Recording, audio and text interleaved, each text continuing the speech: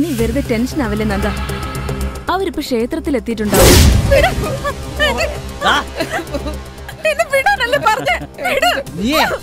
എന്റെ വഴിപാട്.